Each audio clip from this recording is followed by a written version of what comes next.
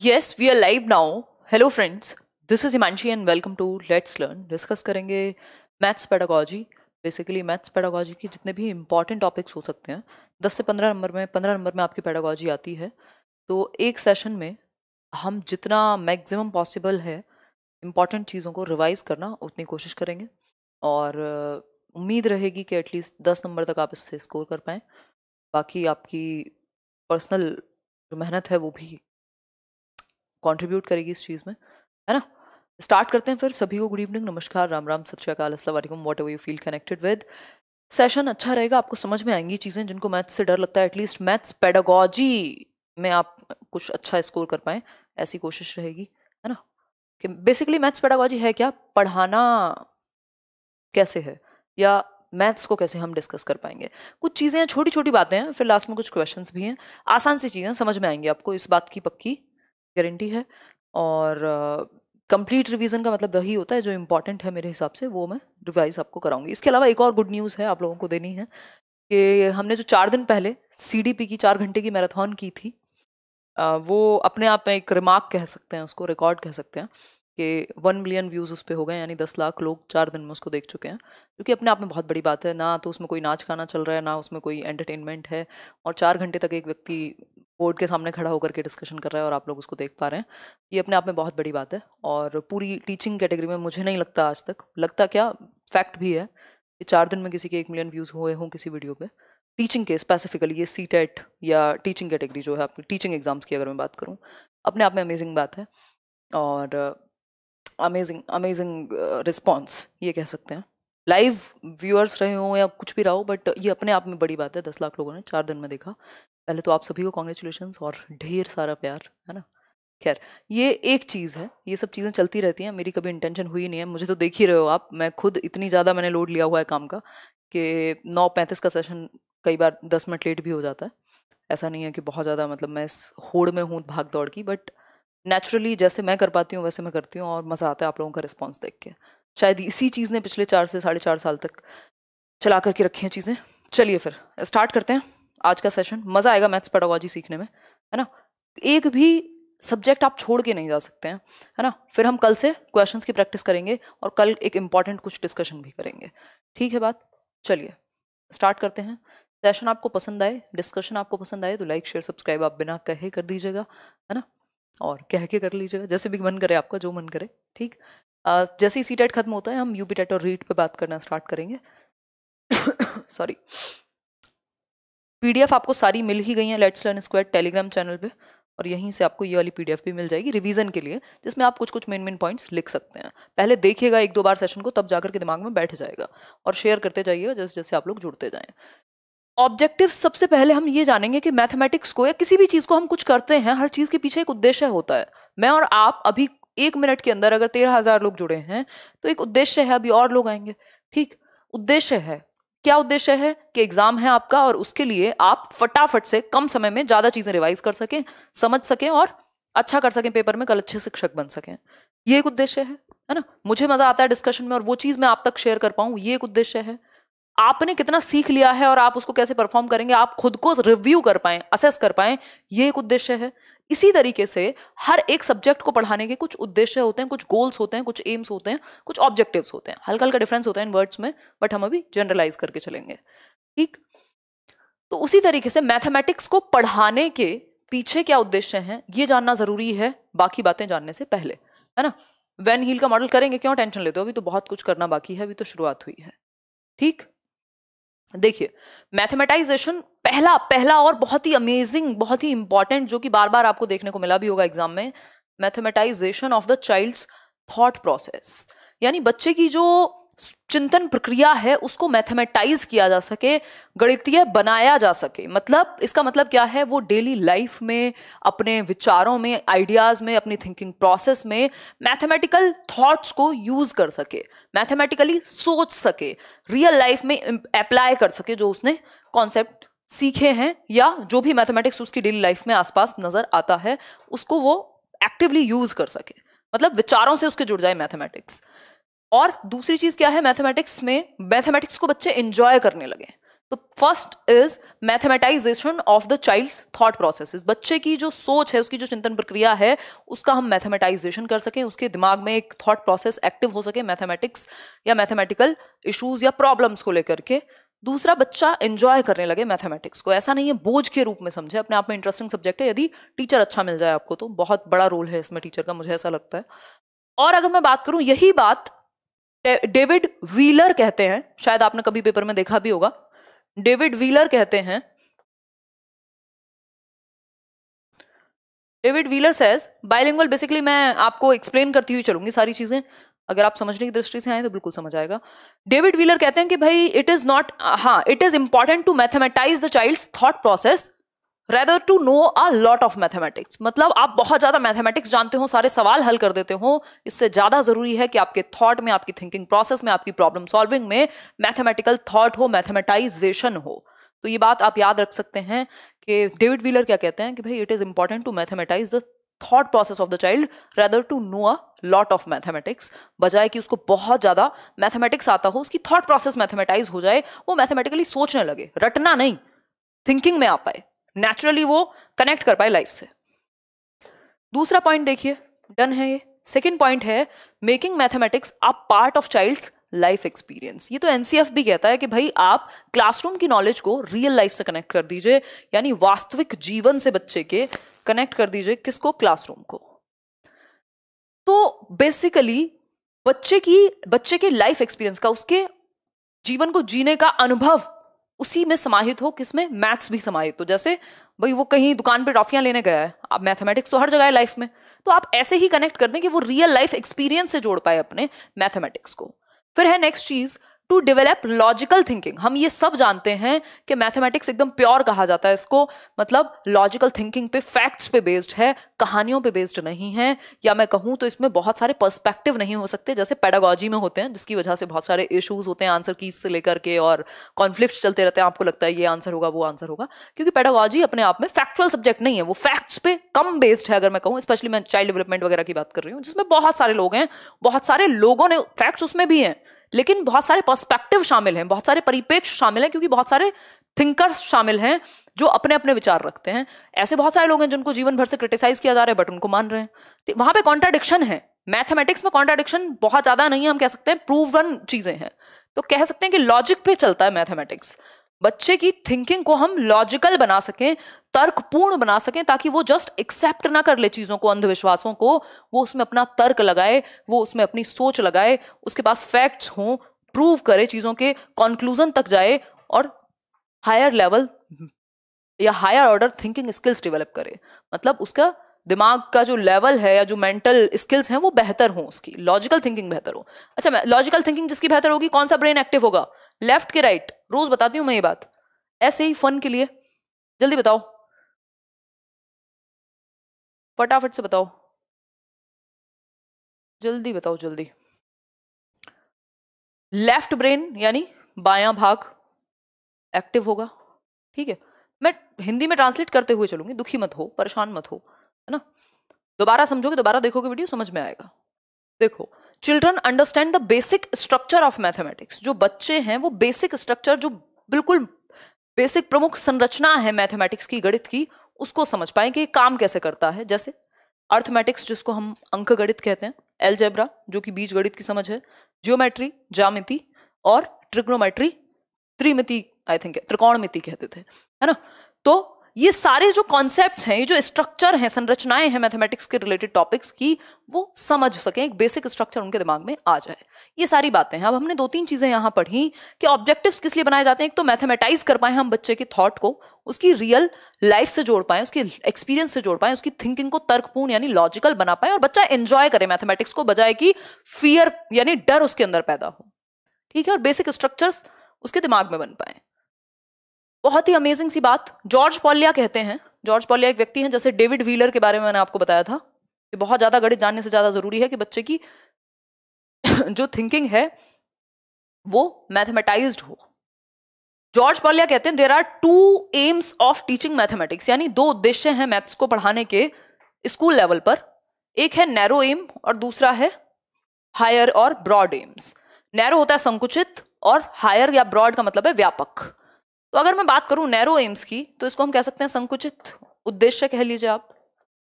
और अगर मैं बात करूँ हायर या ब्रॉड एम्स की तो इसको हम व्यापक कह सकते हैं। जैसा कि आप समझ रहे हैं, लोग भी ऐसे ही होते हैं ना, बहुत सारे लोग संकुचित बुद्धि के होते हैं। उनकी जो दुनिया है, वो उसी में मग्न है, वो एक भी चीज़ एक्स्ट्रा एक्सेप्ट नहीं कर सकते। आज मैं देख रही थी बड़ा फेसबुक ग्रुप पे किसी ने कुछ डाला हुआ था। वो एक पोस्ट थी। मैं सुना भी रही थी, वो यहाँ नहीं सुना पाऊँगी, बड़ा अजीब सा था। मतलब हमारी थॉट प्रोसेस इतनी लिमिटेड है कि हम प्रोग्रेसिव नहीं हो पा रहे विचारों से। हम वहीं अटके पड़े हैं, धारणाओं में ही हैं।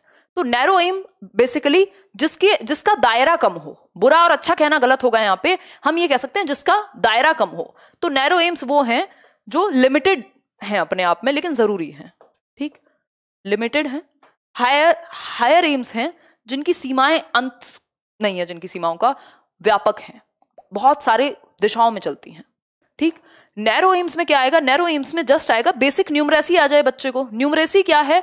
बेसिक नंबर कॉन्सेप्ट उसके दिमाग में आ जाए, जोड़ घटाना, गुणा, भाग ये सब सीख सके यूज़ करके मैथ्स को रोज़गार पा सके, ये है नैरो एम्स ब्रॉड एम की बात करें तो इसका थॉट लेवल मैथमेटाइज्ड हो जाए, वो रिसर्च कर कर सके कल, वो रियल लाइफ में कहीं यूज़ कर सके, ये सारी बातें होती हैं ब्रॉड एम्स में। एक एक करके समझेंगे, कोई दिक्कत वाली बात नहीं है।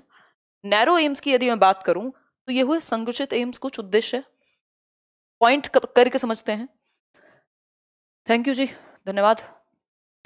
और दीज एम्स नैरो एम की बात कर रहे हैं अभी हम। ये वो एम है जो एम्फोसाइज करते हैं, जो ज़ोर डालते हैं कि हम एक इंडिविजुअल को एटलीस्ट एम्प्लॉयबल तो बना दें। भाई, ज्ञान की बातें तो आप तब करेंगे ना जब पेट में कुछ होगा।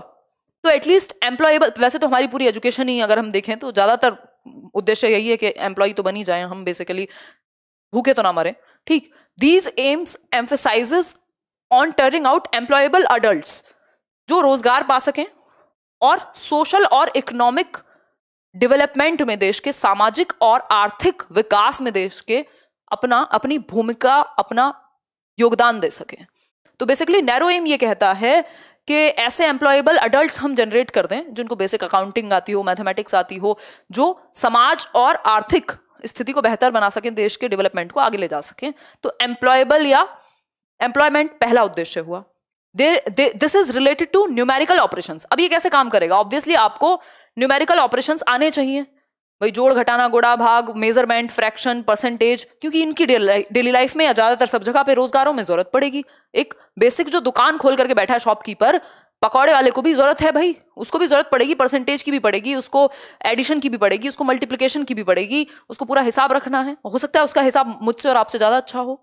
ठीक तो ये न्यूमेरिकल ऑपरेशन नैरो एम के अंदर आते हैं। सिकुड़ता हुआ नैरो कह सकते हैं। Thus the limited aim of mathematics is to develop useful abilities वो एबिलिटीज जो रियल लाइफ में या लाइफ एक्सपीरियंसेस में लोगों के ज़्यादा काम आती हैं, जो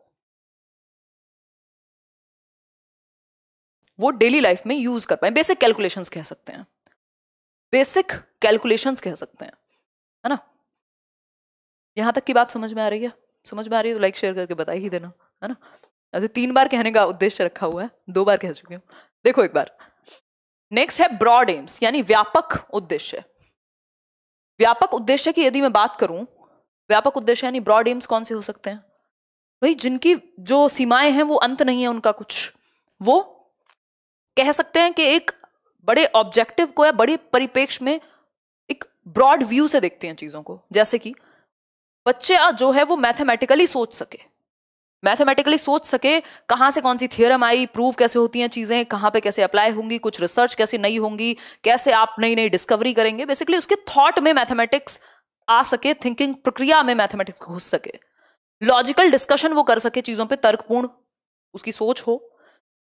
लॉजिकल कंक्लूजन्स निकाल सके, जो बिलीफ्स हैं, जो कुछ मान ली गई चीज़ें हैं, उनका लॉजिकल कंक्लूजन क्या है? उनका निष्कर्ष क्या है? तर्कपूर्ण ढंग से जब हम देखते हैं, सिर्फ़ मान तो नहीं लिया है हमने कि थर्सडे को कपड़े धोएँगे तो प्रॉब्लम हो जाएगी।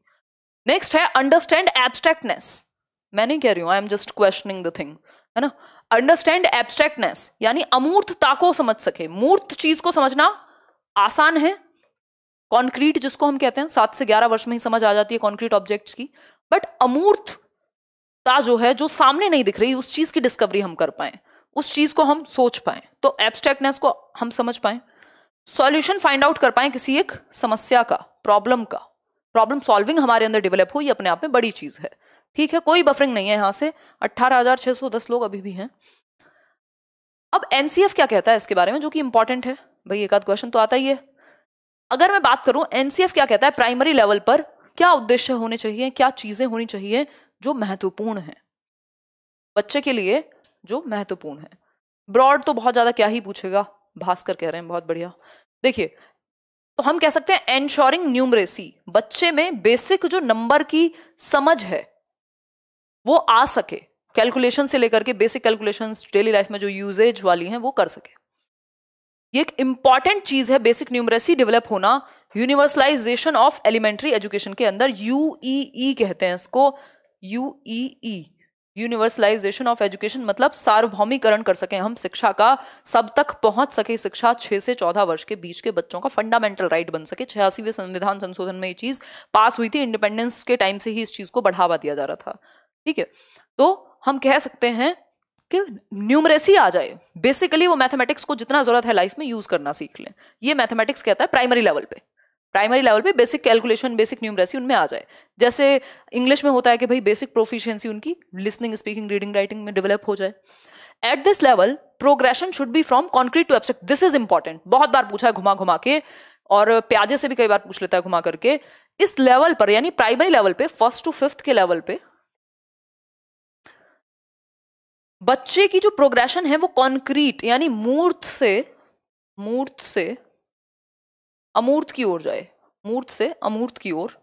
यानी उसको टच एंड फील मटेरियल जिन चीज़ों को वो देख सके टच कर सके फील कर सके, उससे वो धीरे धीरे शिफ्ट करने लगे अमूर्त की तरफ़। तो हम कॉन्क्रीट चीज़ों के थ्रू समझाने की कोशिश करते हैं। मान लीजिए बच्चों को कुछ समझ नहीं आ रहा एडिशन में प्रॉब्लम है।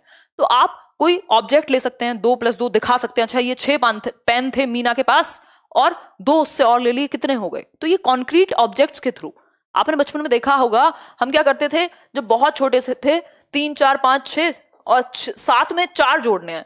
तो ये तीन, सात ये बन गए, एक, दो, तीन, चार। अब सारे गिन लेते थे। याद होगा किसी को तो? तो ये ग्यारह हो गए टोटल मतलब ये कॉन्क्रीट ऑब्जेक्ट है। मतलब कॉन्क्रीट टू एब्स्ट्रैक्ट जा सके। तो बच्चा पहले कॉन्क्रीट चीज़ें सीखता है, जिनको वो देख सके टच कर सके फील कर सके।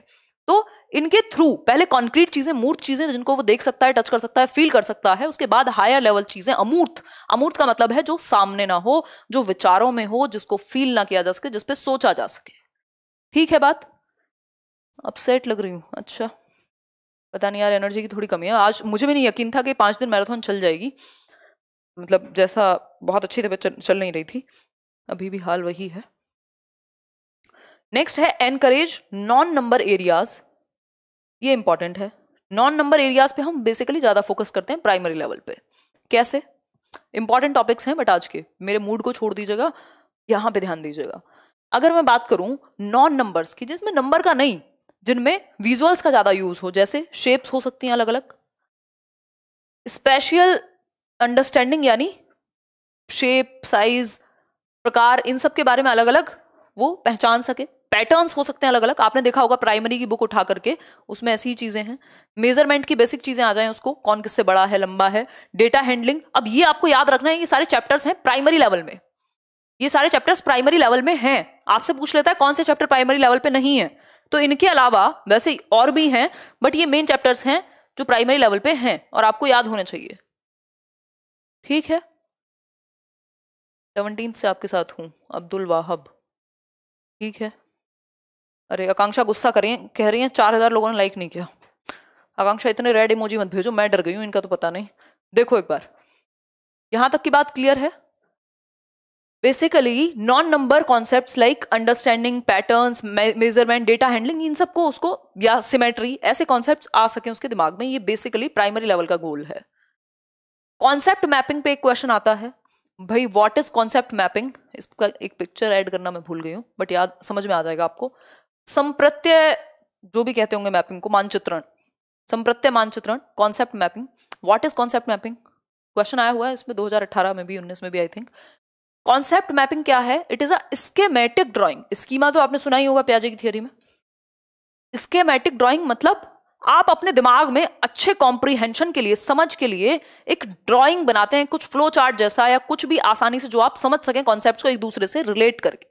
जैसे आपने क्या किया होगा? मैथ्स पेडागोजी है, मान लीजिए। उसमें आपने जोड़ा हुआ जियोमेट्री जियोमेट्री में जो वो पढ़ेंगे। वैन हील इधर हम कॉन्सेप्ट मैप पढ़ रहे हैं। ऑब्जेक्टिव्स पढ़ रहे हैं। तो प्राइमरी ऑब्जेक्टिव क्या है? एनसीएफ ने कौन से बताए हैं? बेसिकली आप फ्लो चार्ट्स वगैरह का यूज़ करके एक आसान से समझ बना लेते हैं अपने लिए। एक स्केमेटिक ड्राइंग बना लेते हैं जो आपके दिमाग में याद रह जाए आपको। रिलेशनशिप बिल्ड करके कॉन्सेप्ट में आपस में जो संप्रत्य हैं अलग अलग चैप्टर्स हैं, उनका आपस में रिलेशन क्या है, इसको कनेक्ट कर लेते हैं एक दूसरे से। फाइनल नोट्स नहीं बनाते लोग यूपीएससी वगैरह में, आपने भी बनाते ही हो गए ऑब्वियस है सबने बनाए अपने कॉलेज वगैरह में। It is a hierarchical structure ये इंपॉर्टेंट है।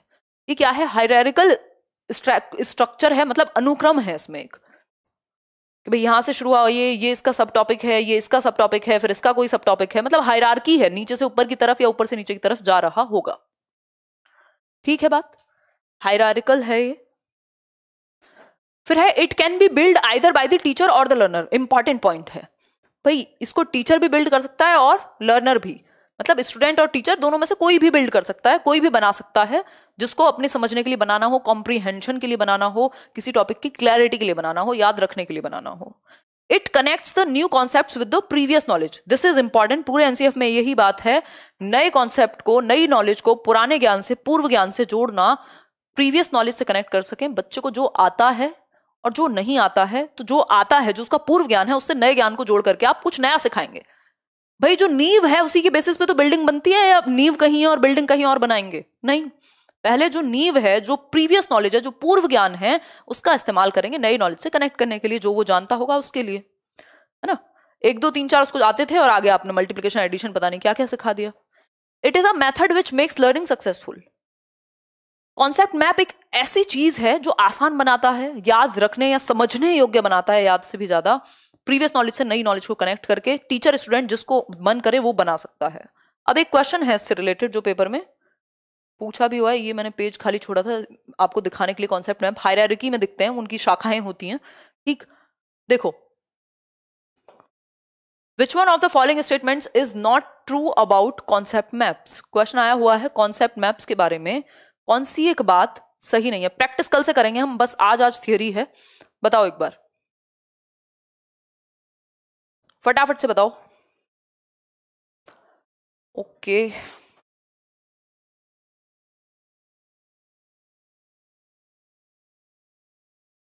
यार, ये माइक मिश्रा जी हमारे पता नहीं कब चेंज कराएँगे। इसे लगाते ही सर में दर्द होता है। देखो एक बार। आंसर करो फटाफट से। बी ऑप्शन बी ऑप्शन मतलब concept map should be constructed by teachers only ये बात गलत है, क्योंकि अभी हमने पढ़ा था कि it can be constructed by teachers either by teacher और स्टूडेंट बच्चा भी बना सकता है और टीचर भी बना सकता है। कॉन्सेप्ट मैप कोई बहुत बड़ी बात इसमें नहीं है, लेकिन ये कह रहे हैं सिर्फ़ टीचर ही बनाएगा। ये बात गलत है। बाकी की तीन बातें तो सही होंगी, उनको भी तो जान सकते हैं हम इन ऑप्शन से। जब प्रीवियस ईयर कर रहे होते हैं तो इनको ध्यान से पढ़ा कीजिए बाकी के ऑप्शन को। Concept maps represent a collection of interconnected concept and links between them बिल्कुल सही बात है इंटरकनेक्टेड एक कॉन्सेप्ट दूसरे से कैसे जुड़ा हुआ है, इन सब चीज़ों को दिखाता है। Concept maps are hierarchical in nature ये मैथ्स में ही नहीं, हर सब्जेक्ट में बनाए जाते हैं। हायरारिकल होते हैं, अभी हमने पढ़ा था मतलब हायरार्की में होते हैं, नीचे से ऊपर जाते हैं, शाखाएँ निकलती जाती हैं। Concept maps help in linking prior knowledge पूर्व ज्ञान से नई नॉलेज को जोड़ने में बड़ी हेल्प करते हैं, क्योंकि जो आप जानते थे, उसमें एक और शाखा लगा लिया आपने, एक और हाइरारकी जोड़ दी कि अब इससे ये कनेक्टेड है, इस पर ये बेस्ड है, इस पर ये बेस्ड है। ठीक? नॉट लिखा हुआ है, इसलिए क्वेश्चन को ध्यान से करेंगे। ये आपका फेवरेट है। ज्योमेट्रिकल थिंकिंग यानी ज्यामितीय विचार पे एक थियोरी है जो कि इंपॉर्टेंट है। वैन हीले की वैन हील भी कह देते हैं इनको हम। वैन हील की थियोरी है ज्योमेट्रिकल थॉट या ज्योमेट्रिकल थिंकिंग की, ज्यामितीय विचार की। ठीक है? क्या नाम है इनका? वैन हील इनके हमारे लिए बेसिकली चार लेवल हैं। वैसे आप ज़ीरो से काउंट करेंगे तो फाइव लगेंगे बट हम ज़ीरो लेवल से काउंट करते हैं। आसानी रहती है और कॉन्सेप्चुअल भी है। आपको सिर्फ़ तीन याद रखने हैं। मतलब चार याद रख लोगे तो बहुत ज़्यादा हो जाएगा। पेपर टू के लिए भी हो जाएगा, नहीं तो प्राइमरी के लिए यहाँ तक ही रहेगा तो भी चलेगा। ठीक? समझ लेते हैं, आसान सी चीज़ है। समझ लेते हैं फटाफट से। अगर मैं बात करूँ यहाँ दिस इज़ समथिंग देखो एक बार, दिख रहा होगा, बिल्कुल क्लियरली दिख रहा होगा मेरे ख्याल में। समझते जाओ। पहला ज़ीरो लेवल है। विजुअलाइजेशन पहला ही लेवल मान लो आप इसको ज़ीरो है। नंबर क्या है? ज़ीरो विजुअलाइजेशन विजुअलाइजेशन क्या होता है? आपने सोचा विजुअलाइज किया कि आप उत्तराखंड में हैं, है ना? पहाड़ हैं, नदी बह रही है सामने। आप वो डाल के बैठे हुए हैं पहाड़ों में जो वो मूढ़े मिलते हैं, है ना? हवा चल रही है।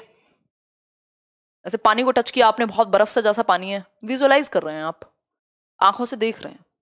है ना? तो विजुअलाइजेशन जो है, आँखों से नहीं तो मतलब प्रॉपर आप अभी कल्पना कर रहे हैं और हो सकता है सामने आपके बिल्कुल वो चीज़ प्रेजेंट हो।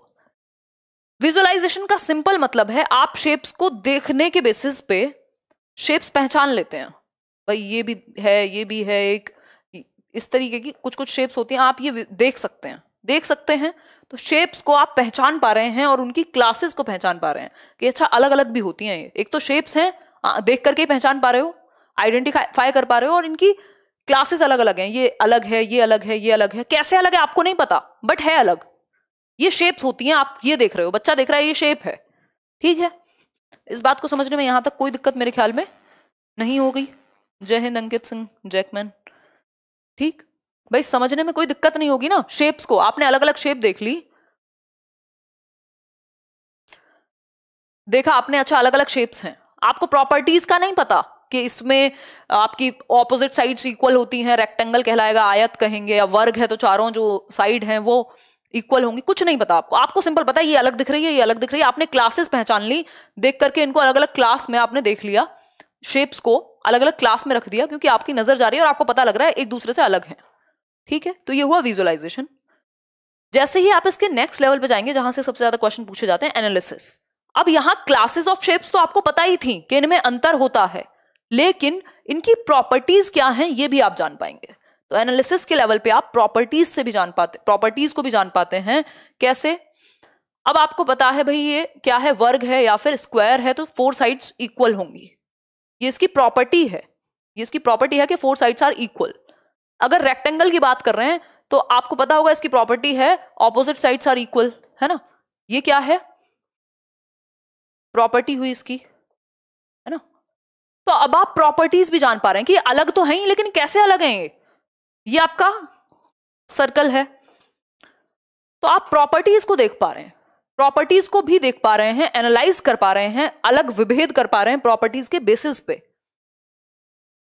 एक बार स्क्रीन बिल्कुल क्लियर है एक बार रिफ्रेश करके देखो। ठीक है? अब ये बहुत इंपॉर्टेंट है। पहले आप देख करके अलग अलग समझ पा रहे थे कि ये अलग अलग शेप है, आपकी नज़र गई, आपने देख लिया। लेकिन अब आपको प्रॉपर्टीज़ भी पता है एनालाइज कर पाते हैं, आप एनालिसिस कर पाते हैं, ये इससे कैसे अलग है? तो कैसे अलग है आपको पता है, इसकी चारों साइड इक्वल है, इसकी सिर्फ़ दो होती हैं ऑपोजिट वाली। तो अब आप प्रॉपर्टीज़ को देख के एनालाइज कर पा रहे हो दैट इज़ इंपॉर्टेंट यहाँ तक की बात समझ में आ गई हो तो बता दो, नहीं आई हो तो बता दो। फटाफट से बताओ। जल्दी आंसर करो, आगे आज तभी बढ़ेंगे जब ये समझ में आ जाएगा। बताओ फटाफट।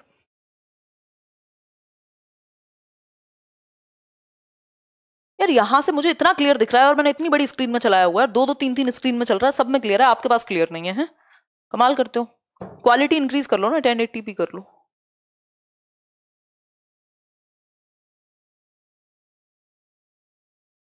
ये बात क्लियर है, यहाँ सिर्फ़ आप देख पा रहे थे, अंतर कर पा रहे थे, लेकिन यहाँ आपको प्रॉपर्टीज़ पता है, उनके बेसिस पे अंतर कर पा रहे हैं एनालिसिस के लेवल पे। ये ज़ीरो था, ये फ़र्स्ट लेवल है सेकंड है इनफॉर्मल डिडक्शन इसमें क्या है? प्रॉपर्टीज़ तो यू ऑलरेडी नो एनालिसिस में पता लग गई थी। अब आपको एक चीज़ और ऐड हो जाएगी। आप रिलेशन भी जान पाओगे इन प्रॉपर्टीज़ के अंदर कि ये बनती कैसे है, इनका फॉर्म क्या है। आपस में रिलेशन क्या है इन प्रॉपर्टीज़ का? टू साइड्स हैं तो क्यों अलग हैं? क्यों सेम है? बना कैसे? फॉर्मूला कहाँ से आया? ये सारी चीज़ें। डिडक्शन में क्या है? ये ज़रूरत नहीं है। वैसे आप यहीं तक कीजिए, कोई दिक्कत नहीं है। इसमें आप प्रूव कर सकते हैं थियरम्स से लेकर के और चीज़ें बट इतनी तीन चीज़ें आपको याद रहेंगी। आपका नंबर आ जाएगा, कोई दिक्कत वाली बात ही नहीं है। ये ऊपर के जो है, वो प्राइमरी लेवल से ऊपर चले जाते हैं। ये शुरुआत के तीन इंपॉर्टेंट हैं। ठीक? क्लियर है? आगे बढ़े। ये इसकी डिस्क्रिप्शन है, जो आपको पीडीएफ में मिल जाएगी और आपको समझने में मदद करेगी। क्या हो क्या रहा है ये? अपनी मर्ज़ी से क्यों चल रहा है भाई? देखो, यहाँ पे ये ज़ीरो लेवल से पढ़ना है इसको। ज़ीरो वन टू थ्री इस चार्ट में नंबरिंग अलग है। बाकी एक्सप्लेनेशन बिल्कुल अप टू द मार्क है। खुद पढ़ लीजिएगा इसको। अभी समझा ही दिया मैंने। फिर से अगर समझना हो तो विजुअल की अगर हम बात करें तो बच्चा अपियरेंस के बेसिस पे जैसे ही उसको दिखती है कोई शेप वो बता देता है कि ये है ये है ये है, गोल है। उसके लिए ये भी गोल है, उसके लिए ये भी गोल ही है ओवल भी। उसको समझ में ज़्यादा नहीं आता, ठीक? एनालिसिस में प्रॉपर शेप्स की प्रॉपर्टीज़ पता होंगी। एब्स्ट्रैक्शन जिसको हम इनफॉर्मल डिडक्शन कह रहे हैं, उसका दूसरा नाम एब्स्ट्रैक्शन है, उसको रिलेशनशिप पता है किस प्रॉपर्टी का कैसे अंतर क्या है। फिर है डिडक्शन इसमें लॉजिकल रीजनिंग आ जाएगी, सात वर्ष के बाद वाली स्टेज है और फिर राइगर है। That is not important at all अब एक क्वेश्चन सॉल्व कर लीजिए। पेपर वन को टारगेट कर रहे हैं हम बाय द वे क्वेश्चन है according to the Van Hiele's at which level of geometrical thinking यानी किस लेवल पे ज्यामितिकल, ज्यामितीय सोच के या चिंतन के बच्चे असेस कर पाएँगे, आकलन कर पाएँगे प्रॉपर्टीज़ का या प्रॉपर्टीज़ के बेसिस पे, आकृतियों के संग्रहों के गुणों के बारे में जान पाएँगे। बताइए। आंसर कीजिए आंसर एनालिसिस एग्जैक्टली भाई एनालाइज कर पाएँगे प्रॉपर्टी के बेसिस पे, जो उसकी प्रॉपर्टी है, जो विशेषताएँ हैं हर एक शेप की, उसके बेसिस पे। ठीक है बात? विजुअलाइजेशन में तो जस्ट वो उनको जैसे ही दिखता है, सामने अपियरेंस के बेसिस पे एक जैसा या अलग अलग बता देंगे बस।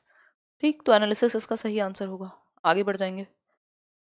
एक और क्वेश्चन अच्छा एक क्वेश्चन आपसे ये पूछ लेता है कि वैन हीले ने या वैन हील ने किसके बारे में बेसिकली अपनी थियोरी दी है? तो आप क्या कहेंगे? बताओ वन वर्ड में। वन वर्ड में बताओ Van Hiele gave his theory about जल्दी बताओ, जल्दी। मज़ाक की बात है नहीं? आज पांचवा दिन है आपकी मैराथन का। वैन हील कितना? ज्योमेट्रिकल थिंकिंग की थियोरी है ज्योमेट्रिकल थॉट पे बेस्ड है जामितीय विचार पर। ज्योमेट्रिकल थिंकिंग पे बेस्ड है इनकी, ये पूरी थियोरी या ये जो लेवल्स हैं इनके, ये जामितीय विचार पे बेस्ड है। याद रहेगी ना ये बात? आगे बढ़ते हैं, वापस से आते हैं क्वेश्चन पे। पढ़िए question identify are desirable practice for teaching geometry at primary level भाई, प्राथमिक स्तर पर ज्योमेट्री पढ़ाने के लिए किस चीज़ का आप कौन सी प्रैक्टिस आपको पसंद आएगी? पहला ऑप्शन है geometry at primary level should be limited to recognition of basic simple shapes सिर्फ़ बेसिक सिंपल सिंपल शेप्स को, साधारण शेप्स को पहचान ले बच्चा। या फिर the teacher should begin by giving clear definition of simple shapes and showing examples यानी शुरुआत जो करनी चाहिए, वो डेफिनेशन से करनी चाहिए। जी नहीं, कभी नहीं, कदापि नहीं। Children should be given ample opportunities to develop an intuitive understanding आपको याद आ रही होगी एक प्यारी सी बात कि बच्चा एक्टिव है तो ज़्यादा संभावना है उत्तर होगा। डेवलपिंग एक्सटेंसिव ज्योमेट्रिक वोकेबलरी यार वोकेबलरी एक्सटेंसिव मतलब पता नहीं कौन से प्रयोग कर करके वो एक्स्ट्रा वर्ड्स भी उनको पता लग जाएँगे। वो कौन सी नॉवल्स पढ़ रहे हैं या कौन सी थियोरीज पढ़ रहे हैं गूगल से।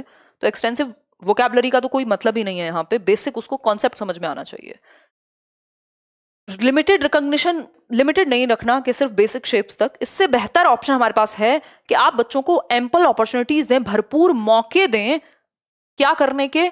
कि उनकी जो इंट्यूटिव अंडरस्टैंडिंग है स्पेस को लेके, चीज़ों को लेके शेप को लेके साइज़ को लेके, आकार को लेकर, वो उनको देखें। अगर वो पेड़ देख रहे हैं तो उसकी भी शेप देख पा रहे हैं, है ना? तो उनकी इंट्यूटिव जो सहज, आंतरिक अंदर से आ रही है, उसको बढ़ावा दें कि उन्होंने कैसे, कितना ऑब्ज़र्व किया दुनिया को।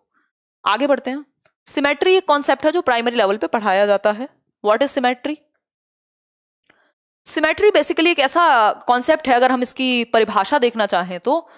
The quality of being made up of exactly similar parts बिल्कुल सेम होगा, जैसे कि आप डिवाइड करेंगे। फेसिंग ईच अदर एक दूसरे को फेस कर रहे हो, एक जैसे पार्ट्स या तो सामने, आमने सामने, या फिर अराउंड एन एक्सिस एक्स होता है ना एक्स एक्सिस और वाई एक्सिस एक्स और वाई ठीक?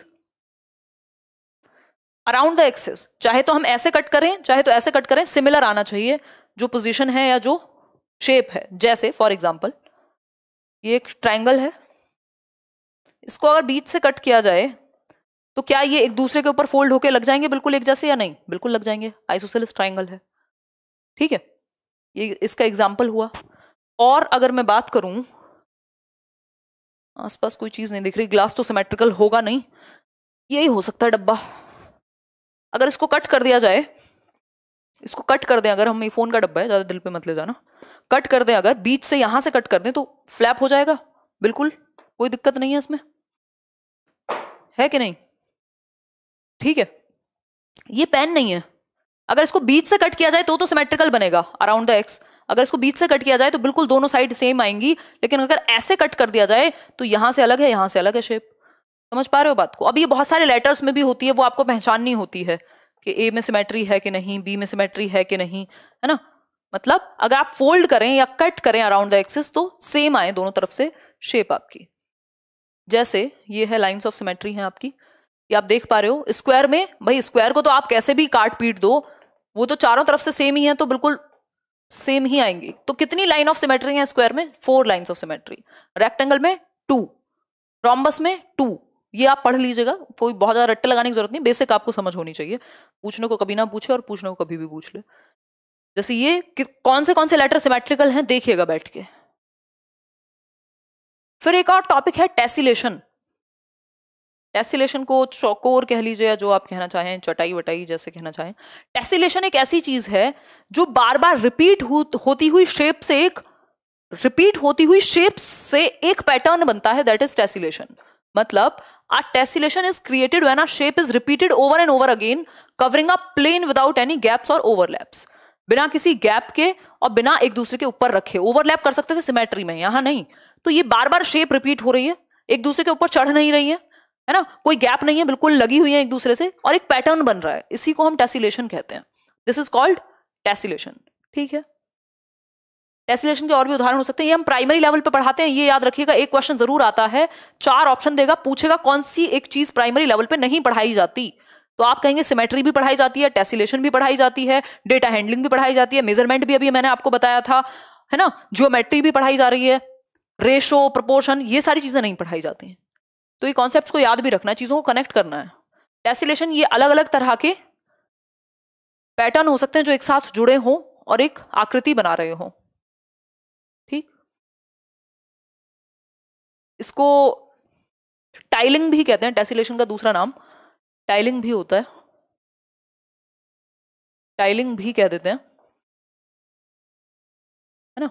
टाइल्स में भी क्या होता है? आप फर्श पे जब टाइल बिछवा रहे हैं टेसिलेशन ही हो रहा है ना एक तरीके से। पैटर्न ही है वो। एक दूसरे के साथ जुड़ा हुआ। ऐसा नहीं है, गैप पे है। गैप तो अपने आप बन जाता है। क्वेश्चन देखो एक बार। क्वेश्चन देखो which one of the following topics are not part of primary school mathematics curriculum as per NCF 2005 मतलब एनसीएफ 2005 के अनुसार प्राइमरी लेवल पे कौन सा एक टॉपिक नहीं है? नॉट पूछा है। नॉट पूछा है, इसमें यस yes भी पूछ सकता था, वो आपके ऊपर था समझने के ऊपर। अगर मैं नॉट की बात करूँ हम्म लाइक शेयर भी करते रहना है, बहुत बढ़िया। तो हम कहेंगे रेशो ये रेशो प्रोपोर्शन ये सब प्राइमरी लेवल पे नहीं है पैटर्न्स हैं ऑब्वियसली नॉन नंबर वाली चीज़ें हैं ये, जो पैटर्न या शेप देख के सिमेट्री भी है टेसिलेशन भी अभी हमने पढ़े हैं तीनों। ठीक? रेशो नहीं है प्रोपोर्शन नहीं है। इंडक्टिव एंड डिडक्टिव रीजनिंग पे एक क्वेश्चन आता है। इंडक्टिव मतलब आगमन विधि। इंडक्टिव मतलब आगमन विधि डिडक्टिव मतलब निगमन विधि। निगमन विधि। ठीक है? ये बात समझ पा रहे हो कि नहीं? बताइए सरकार। हम्म? आगमन व निगमन, तर्क। देखो, आगमन का सिंपल सा मतलब है, यहाँ आप ऑब्जर्वेशन से रूल की तरफ़ जाते हो। डिडक्टिव में उल्टा है, वहाँ पहले से कॉन्क्लूजन है। आगमन की बात करते हैं इंडक्टिव रीजनिंग आगमन, तर्क की। इंडक्टिव मेथड में भी ऐसे ही होता है। क्या है is the process of arriving at a conclusion conclusion पे, निष्कर्ष पे आप पहुँचेंगे, कुछ ऑब्जर्वेशन को कुछ अवलोकनों के बाद आपने देखा, तीन ट्रायंगल आपके सामने थे और आपको तीनों में सिमिलैरिटी पहचाननी थी। आपने देखा भाई इनका जो ये लॉन्गिट्यूड है, जो लंब है, जो कर्ण जिसको हम कहते हैं हाइपोटेन्यूज है बेस है, इनमें ये रिलेशन है, आपने फाइंड आउट कर लिया। पहले आपके सामने फॉर्मूला नहीं बताया किसी ने पाइथागोरस का। पाइथागोरस थियोरम नहीं बताई बट आपको ये ऑब्ज़र्व करने के लिए दिए। क्वेश्चन आया हुआ पेपर में। मज़ाक नहीं कर रही हो, है ना? तो पाइथागोरस थियोरम नहीं दी, पहले एग्जांपल्स दे दिए। जैसे कल वो बात थी कि संज्ञा के एक बेस्ट फ्रेंड के बारे में पूछा बच्चों से, और बेस्ट फ्रेंड की जो विशेषताएँ थी वो लिखी, और बाद में बताया, या अलग अलग जगहों की, कि इन विशेषताओं को संज्ञा सर्वनाम कहते हैं। विशेषताएँ नहीं, किसी व्यक्ति वस्तु स्थान के नाम को संज्ञा या सर्वनाम संज्ञा कहते हैं सॉरी तो इस केस में अगर मैं बात करूँ तो ये क्या था? पहले एग्ज़ाम्पल दिया बच्चों से। अलग अलग बच्चों को खड़ा किया, उनकी फेवरेट डिश पूछी फेवरेट शहर पूछा फेवरेट जगह पूछी बाइक पूछी फ़ोन पूछा, गाड़ी पूछी, कपड़े पूछे, है ना? फिर उनको बताया, ये सारी चीज़ें संज्ञा कहलाती हैं। मतलब पहले आपने एग्ज़ाम्पल दिया, जैसे यहाँ पे एग्ज़ाम्पल प्रस्तुत किया है ट्राइंगल का और इनमें रिलेशन फाइंड आउट करना है बच्चे को। मतलब ऑब्जर्वेशन से एग्ज़ाम्पल से रूल की तरफ़ जाएगा बच्चा किसमें इंडक्टिव मेथड में। डिडक्टिव में उल्टा है, निगमनात्मक में उल्टा है। निगमनात्मक में पहले निष्कर्ष, पहले कॉन्क्लूजन पहले रूल होगा ए प्लस बी का whole square is equal to A square plus B square plus two A B ये क्या है? पहले रूल बता दिया। देन आप एग्ज़ाम्पल पे गए दैट मीन्स डिडक्टिव रीजनिंग है।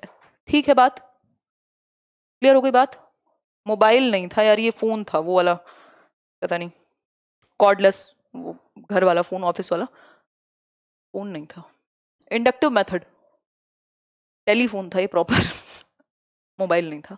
देखो एक बार इंडक्टिव मेथड के बारे में थोड़ा सा जान लेते हैं, ज़रूरी है, ये बेसिक्स आपको पता होना चाहिए, कई बार पूछ सकता है डेफिनेशन के रूप में। समय हुआ है दस बज के पच्चीस मिनट और हम लोग काफ़ी संख्या में जुड़े भी हुए हैं।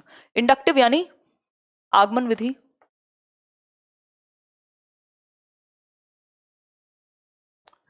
क्या है आगमन विधि? मैथ्स को अच्छे से कर लीजिएगा। आज का सेशन महत्वपूर्ण रहेगा। हो सकता है आगे के सौ क्वेश्चन की जगह मैं पचास ही करा दूँ फिर, क्योंकि आज जो हम कर रहे हैं वो इम्पोर्टेंट है। ठीक है? कब से हम आपसे कह रहे हैं? क्या कह रहे हो भाई? In this method first examples are पहले फ़र्स्ट एग्जाम्पल्स पहले उदाहरण और फिर कॉन्क्लूजन या नियम बताया जाएगा। ये एक मैगजिम पे, एक विचारधारा पे बेस्ड है पर्टिकुलर टू जनरल जाने के। पर्टिकुलर क्यों? क्योंकि उदाहरण हमेशा पर्टिकुलर विशिष्ट होता है और रूल हमेशा जनरल होता है, सबके लिए एक जैसा सामान्य होता है। कॉन्क्रीट टू एब्स्ट्रैक्ट जो सामने है, उससे अमूर्त की तरफ़ जाते हैं इंडक्टिव मेथड में। बच्चों के लिए ये ज़्यादा अच्छा भी रहता है कई बार और हमको मिक्स भी करके हम पढ़ा सकते हैं। नोन टू अननोन जो वो जानता है और जो वो नहीं जानता, दोनों के बीच में एक इमारत बिल्ड करते हैं मतलब प्रीवियस नॉलेज से कनेक्ट कर पाते हैं यहाँ हम नई नॉलेज को। दिस इज़ ज़्यादा बेहतर। This is important this is better ये कह सकते हैं हम। आगे बढ़ते हैं। स्टेप्स क्या होंगे इंडक्टिव मेथड के? अगर आप कोई चीज़ पढ़ा ही रहे हैं बच्चों को तो स्टेप्स क्या होंगे? पहले आप एग्जाम्पल्स बताते हैं। पहले आप एग्जाम्पल्स बताते हैं, जैसे मैंने अभी शेप्स की बात की, आपने एग्जाम्पल्स प्रस्तुत किए। आपने उनके सामने रेक्टेंगल रखे कुछ और कहा, देखो, इनमें क्या विशेषता है? इनमें कॉमन क्या है? फिर वो बताएँगे उनको जो कॉमन लगेगा। फिर बाद में आप रूल तक ले जाओगे कि देखो ऑपोजिट साइड इक्वल है, इसलिए इसका एरिया ये होता है। रूल बाद में बताओगे आप। तो कंक्लूजन आप ऑब्ज़र्व करके एग्जाम्पल्स को तब बताते हो। मॉम का फ़ोन आ रहा है खाने के लिए। रुको एक मिनट बिल्ड कॉन्सेप्ट मतलब कॉन्सेप्ट बिल्ड करते हो आप एग्ज़ाम्पल से। Attestation of concept on the basis of examples भाई, आपने जो कॉन्सेप्ट बनाया, जो एग्ज़ाम्पल से रूल पे गए, उसको अटेस्ट भी तो करोगे फाइनलाइज भी तो करोगे, सही है कि नहीं है? तो बाद में आप प्रूव करके भी देख सकते हो। आगे बढ़ेंगे। डिडक्टिव मेथड की तरफ़ बढ़ते हैं। ज़्यादा बड़ा इसमें बहुत ज़्यादा चीज़ें नहीं है मैथ्स की, अगर मैं बात करूँ पेडागोजी की। ये इंपॉर्टेंट है, इसके बाद क्या है? इसके बाद बहुत ज़्यादा चीज़ें रहेंगी नहीं। फिर प्रैक्टिस भी करेंगे। और डिडक्टिव मेथड है, इसके स्टेप्स हैं। हाँ फिर प्रैक्टिस है। कुछ टीचिंग लर्निंग प्रोसेस के बारे में है। टीचिंग लर्निंग मटीरियल है। बस, खत्म हो जाएगा। देखो एक बार। डिडक्टिव मेथड देखो एक बार, निगमन विधि। देखो। डिडक्टिव में हमेशा हमेशा हमेशा हम रूल्स से एग्ज़ाम्पल की तरफ़ जाएँगे। किससे जाएँगे? रूल्स से एग्ज़ाम्पल की तरफ़ जाएँगे। नहीं, मासी के पास नहीं रहती मैं, मासी हमारे पास रहती हैं आजकल। जाएँगी वैसे वो। रुको एक मिनट। देखो एक बार।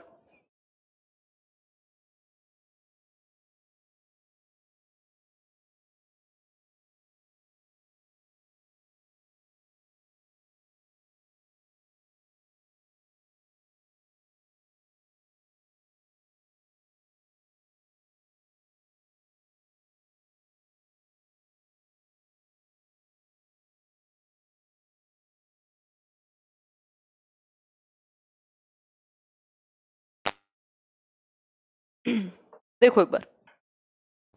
नेक्स्ट चीज़ देखो in this method first rules are given and then they are attested पहले रूल्स दे देंगे यहाँ पे।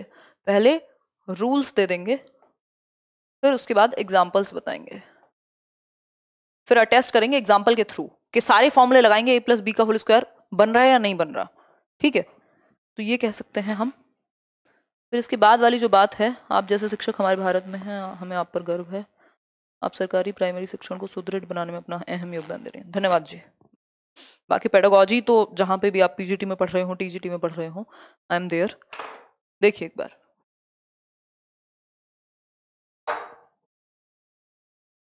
इट फॉलोज द मैग्जिम्स ये थॉट को फॉलो करता है, जो जनरल टू पर्टिकुलर जाता है। ये बात हम समझ चुके हैं। यहाँ एब्स्ट्रैक्ट टू कॉन्क्रीट जाने की प्रथा है, जो कि बहुत अच्छी बात नहीं है। ठीक है। आगे बढ़ेंगे। अब इसके स्टेप्स क्या हो सकते हैं? जस्ट उल्टे होंगे इंडक्टिव के। यहाँ पे पहले आप कॉन्सेप्ट बता देंगे बच्चे को, फिर उसको डिफरेंट एग्जाम्पल्स बताएँगे, फिर ट्रुथ जो आपने कॉन्सेप्ट बताया है रूल बताया है, उसको टेस्ट करेंगे कि ऐसा तो नहीं है कोई सिचुएशन जहाँ ये फॉर्मूला काम ना करता हो। Attestation of the truth of concept by setting the other examples ठीक है? क्लियर हो गई बात? घर वालों से बात हो नहीं रही है। इनका अलग ही चल रहा है। बच्ची तो हूँ मैं दो दिन की। देखो एक बार। बहुत मज़े आते हैं फालतू बातें करने में, हैं? फटाफट से देखिए। हाँ रीड की बात तो तब करेंगे, पहले सीटेट की तो कर लें यार। देखो क्वेश्चन देखो, ये वाला क्वेश्चन आया था। इंडक्टिव डिडक्टिव पे ही बेस्ड है। सीटेट में 2018 के अंदर, और ऐसे क्वेश्चन आते रहते हैं। देखो एक बार। क्वेश्चन पढ़ो। क्वेश्चन है to teach the Pythagoras theorem are teacher has distributed a sheet on which four right angle triangles भाई एक शीट डिस्ट्रीब्यूट की है। टीचर ने जिसमें चार राइट एंगल ट्राइंगल हैं। अभी मैंने आपको दिखाए भी थे। चार राइट एंगल ट्राइंगल हैं। मेरी तो ड्राइंग खैर माशाल्लाह है बट फिर भी। ठीक है। ये चार राइट एंगल ट्राइंगल हैं और किसी ने मतलब टीचर ने कहा है कि इनको ऑब्ज़र्व करो। इनमें सिमिलैरिटी क्या है? रिलेशनशिप ढूंढो। इस सिचुएशन में टीचर ने किस मेथड का इस्तेमाल किया है? आप आँख बंद करके कहेंगे इंडक्टिव मेथड यानी आगमन विधि। यदि यदि यदि। यहाँ इंडक्ट ये एग्ज़ाम्पल या ये ट्राइंगल्स देने की जगह टीचर ने सीधा रूल बताया होता पाइथोगरस थियरम का, जो हम यूपी बोर्ड में पढ़ते थे, लाल बटे कक्का और यहाँ सीबीएसई में पढ़ते हैं, क्या पंडित हर, बद्री प्रसाद हर हर बोले करके बेसिकली वो हाइपोटेन्यूज और बेस वाला। तो बाद में रूल बताया अगर पहले रूल बता दिया होता हाइपोटेन्यूज का सॉरी इसका पाइथोगरस थियरम का तो सिंपल डिडक्टिव मेथड हो जाता। लेकिन यहाँ रूल नहीं बताया। इनमें रिलेशन फाइंड आउट करने को कहा है कॉन्क्लूजन पे पहुँचे नहीं है। फैक्ट्स पहले से मौजूद नहीं है। फैक्ट तक पहुँचना है। यदि फैक्ट पहले दे दे कॉन्क्लूजन पहले दे दे तो डिडक्टिव हो जाएगा। तो इंडक्टिव है। अगर जस्ट इसकी उल्टी होती ना पोजीशन तो डिडक्टिव हो जाता। आगे बढ़ेंगे। लेक्चर और लेबोरेटरी मेथड जैसा इसमें कुछ था ही नहीं। टीचिंग लर्निंग प्रोसेस की के बारे में थोड़ी सी बात कर सकते हैं, अगर आपकी आज्ञा हो तो। इसको देखिए, मैं एक बार पढ़ती हूँ, किसी ने कुछ लिखा है बड़े ही प्यार मोहब्बत से, देख लेती हूँ। एक तो कमेंट देखने के लिए आजकल आगे आना पड़ता है। श्वेता कह रही है, मैम, मैं आगरा से हूँ एंड यहाँ बहुत कोचिंग है बट मैंने कोई कोचिंग ज्वाइन नहीं किया एंड मैं आपका लेक्चर इसलिए देखती हूँ क्योंकि मैं सीबीएसई बोर्ड से हूँ एंड आप इंग्लिश हिंदी दोनों में पढ़ाते हो। Thank you so much thank you so much Shweta. मिलेंगे भाई। हमारे लिए भी कोई ऐसा व्यक्ति मौजूद नहीं है मौजूद नहीं था। मैम उदय सर ने डांट लगा दिया आज। क्या कह रहे थे संजू? हैं? क्या कह रहे थे उदय सर? हम्म, परेशान करते हो आप लोग उनको? हैं? उनका बोर्ड वो बोर्ड पे खड़े हों डांस करें लेट जाएँ हैं? क्या हो गया? कोई बात नहीं। ऐसे बुरा नहीं मानते टीचर्स की डांट का बुरा नहीं मानते। देखो एक बार। वैसे मुझे पता नहीं है एग्जैक्टली क्या हुआ है। आ जाओ वापस आ जाओ। वापस आ जाओ। ये मेरा सब्जेक्ट नहीं है। बट मुझे मज़ा आता है आप लोगों के साथ डिस्कशन करने में। देखो, अगर मैं बात करूँ मीनिंग की टीचिंग लर्निंग प्रोसेस की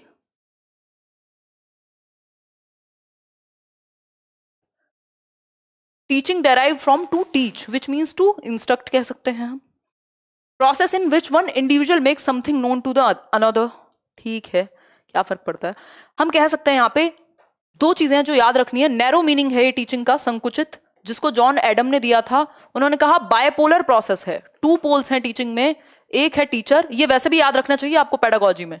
एक है टीचर और एक है स्टूडेंट। एक तरफ़ टीचर है, एक तरफ़ स्टूडेंट है, जैसे मैं और आप बैठे हुए हैं, है ना? फिर है ट्राइपोलर प्रोसेस, जो ब्रॉड मीनिंग है, जिसको जॉन डुई जिसके बारे में बात करते हैं, वो कहते हैं, नहीं, सिर्फ़ टीचर और स्टूडेंट नहीं है। समाज, सोसाइटी, करिकुलम एनवायरमेंट और भी तो चीज़ें हैं जो प्रभावित करती हैं इन दोनों को। ऐसा थोड़ी है।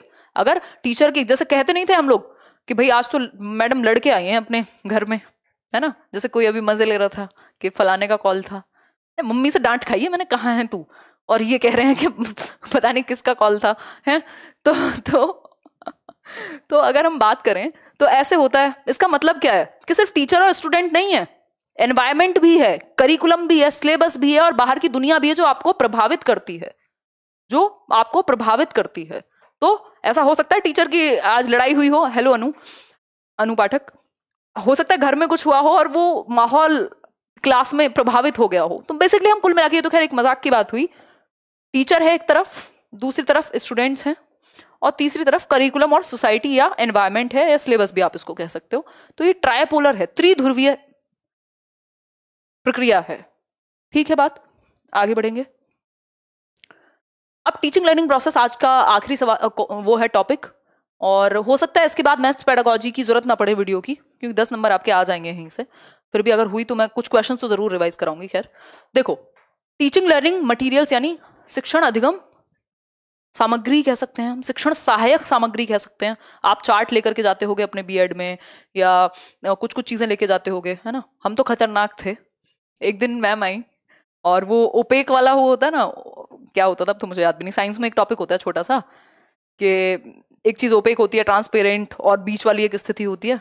तो वो स्पाइरल के पीछे एक साइड ओपेक होता है, एक साइड ट्रांसपेरेंट होता है। हमने सही जुगाड़ किया हुआ था। सबसे कम मेहनत में अच्छा जुगाड़ हमारे पास हमेशा अवेलेबल होता था टीचिंग लर्निंग मटेरियल के लिए। खैर टीचिंग लर्निंग मटेरियल का मतलब भी वैसे यही है कि आप सुगम बना सकें इंडिजीनियस हो, जो देश में आसानी से बन सकें, और टीचिंग लर्निंग को इफ़ेक्टिव बनाते हैं ये। यानी शिक्षण अधिगम प्रक्रिया को प्रभावी बनाते हैं। प्रभावी बनाते हैं इंटरेस्टिंग बनाते हैं, ताकि बच्चों को लंबे समय तक याद रह सके। अगर मैं यहाँ आपको कोई पिक्चर दिखा दूँ और सिर्फ़ बोल दूँ तो जो आपने देखा होगा, वो ज़्यादा याद रहेगा। यानी ज़्यादा से ज़्यादा सेंसेस इन्वॉल्व हुआ वो पारभासी परभासी वही सब। देखो ज़्यादा ना मज़े मत लो, इधर आ जाओ। हाँ ट्रांसलूसेंट ट्रांसपेरेंट और ओपेक याद आ गया। बहुत बढ़िया। ग्रेट एक्चुअली होता क्या है? फ्लो में होता है ना इंसान तो आधी चीज़ें वैसे याद नहीं आती। कई लोग तो दिल पे ले जाते हैं। रिजॉल्व विकास शर्मा। चलिए, फटाफट से देखिए। टीचिंग लर्निंग मटेरियल इंटरेस्टिंग बनाता है, रुचिकर बनाता है आपकी शिक्षण प्रक्रिया को, प्रभावी बनाता है लॉन्ग लास्टिंग बनाता है, बच्चा रियल लाइफ से कनेक्ट कर पाता है है ना? चीज़ें याद रहती हैं। ठीक हो गई बात? आगे बढ़ जाएँ अब मज़ा आ रहा है, बहुत ही बढ़िया। हाँ प्रिया, बिल्कुल, लोग हैं जो बिल्कुल पढ़ने थोड़े आते हैं, वो लोग पढ़ने वाला डिसलाइक थोड़ी कर सकता है। उसको क्या मतलब? आई अंडरस्टैंड अमरजीत, सब जगह पे नेट की स्पीड अच्छी नहीं होती। अच्छा बरेली में मीटअप अभी तो रुक जाओ, पता नहीं कब होगा। चलो आ जाओ फटाफट से। टीचिंग लर्निंग मटेरियल जो है, सुगम बनाते हैं आपके। टीचिंग लर्निंग के अनुभव को ये हम कह सकते हैं हेल्पफुल होते हैं, बेहतर टीचिंग लर्निंग करने में इफ़ेक्टिव बनाने में टीचिंग लर्निंग प्रोसेस को। चलिए फटाफट से शुरू करते हैं। एक नंबर, दो नंबर पे भी यहाँ से भी क्वेश्चन आता है। जियो बोर्ड आपने सुना होगा? वॉट इज़ जियो बोर्ड देखिए फटाफट से। जियो बोर्ड क्या है? देखिए। जल्दी आंसर करो। जियो बोर्ड की यदि हम बात करें तो जियो बोर्ड एक ऐसा बोर्ड है जिसमें नेल्स होते हैं। नेल्स एम्बेडेड मतलब कीलें होती हैं तो आपने देखा होगा, शायद कहीं ना देखा हो तो यहाँ देख लीजिए। इंटरनेट पे देख लीजिएगा यूट्यूब पे कोई वीडियो देख लीजिएगा, है ना? ये यूट्यूब की शुरुआत थी एक तरीके से। हम लोग टीचिंग लर्निंग मटेरियल ढूंढा करते थे, बाहर की कंट्रीज़ के वीडियोज़ आते थे। इंडिया का कुछ था ही नहीं टीचिंग को लेके बहुत ज़्यादा उस टाइम पे। तो it is a square board एक स्क्वायर बोर्ड होता है, जिसमें नेल्स गढ़े होते हैं, कीलें गढ़ी होती हैं, जिनमें रबर का इस्तेमाल करके या फिर रबर बैंड आप देख रहे हो, ये ट्राइंगुलर ट्राइंगल और आपका ये स्क्वायर रेक्टेंगल ये सब बनाए हुए हैं। इन कीलों से हम शेप दे रहे हैं, ठीक है? शेप्स बनाई हुई हैं इनका यूज़ करके। इनिशियल ज्योमेट्रिकल फिगर सीख सकते हो मेज़रमेंट सीख सकते हो यहाँ से न्यूमेरिकल कॉन्सेप्ट सीख सकते हो। दो तीन चीज़ें याद रखना। ज्योमेट्रिकल फिगर्स भाई शेप्स देख ही रहे हो आप। ये सीख सकता है बच्चा इससे। मेज़रमेंट इसलिए सीख सकता है क्योंकि उसको पता चल जाएगा कितना एरिया इसने ऑक्यूपाई किया हुआ है यहाँ से यहाँ तक में। ठीक? न्यूमेरिकल कॉन्सेप्ट्स को भी वो समझ पाएगा। मेजर वगैरह करने में हेल्प मिलेगी। तो ये दो तीन चीज़ें हैं जो जियो बोर्ड से की जा सकती हैं। इसमें नेल्स होते हैं, यानी कीले होती हैं शेप्स को मेज़रमेंट को एरिया को, ये सब आपको दिखाने में या समझाने में मदद होगी। जियो बोर्ड के द्वारा। दूसरी चीज़ है abacus abacus abacus Vedic mathematics की एक टेक्निक है, हम ये कह सकते हैं। ये आपके सामने प्रस्तुत भी है। अबेकस देखा भी होगा, कुछ स्कूल्स या कुछ इंस्टीट्यूट्स इसको फॉलो भी करते हैं। कैलकुलेशन के लिए बहुत ही अमेजिंग सी चीज़ है है ना? कैलकुलेशन फास्ट, बहुत तेज़ी से कर पाता है बच्चा। तो ये एक एंशियंट मैथमेटिकल इंस्ट्रूमेंट है, एक प्राचीन गणितीय इंस्ट्रूमेंट कह लीजिए। It is a frame generally of wood और प्लास्टिक। यानी ये किस चीज़ का फ्रेम है? वुड का भी हो सकता है, प्लास्टिक का भी हो सकता है। इसमें स्लाइडिंग बीट्स होते हैं। ये जो बीट्स आप देख रहे हैं, इनको आगे पीछे किया जा सकता है कैलकुलेशन के लिए। द कॉन्सेप्ट ऑफ़ एडिशन अब ये इंपॉर्टेंट है। कई बार पूछ लेगा, इसके लिए किसके थ्रू समझाओगे? तो अबेकस के थ्रू एडिशन यानी जोड़ना सब्ट्रैक्शन यानी घटाना, है ना? मल्टीप्लीकेशन यानी गुणा करना।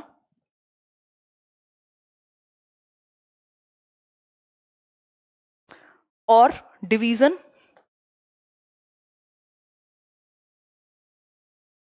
ये सारी चीज़ें मतलब बेसिकली कैलकुलेशन को फास्ट करने में बहुत बड़ा रोल है।